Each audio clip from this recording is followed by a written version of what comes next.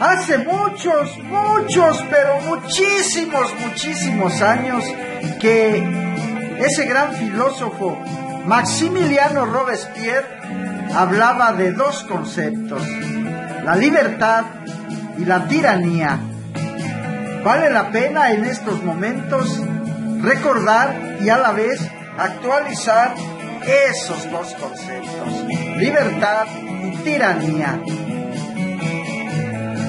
El secreto de la libertad radica en educar a las personas, en tanto que el secreto de la tiranía consiste en mantenerlos ignorantes.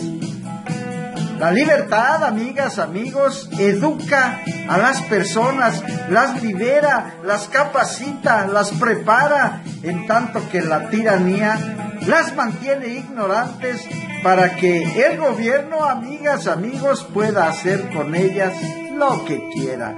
Por eso, muchos gobiernos no le apuestan a la educación.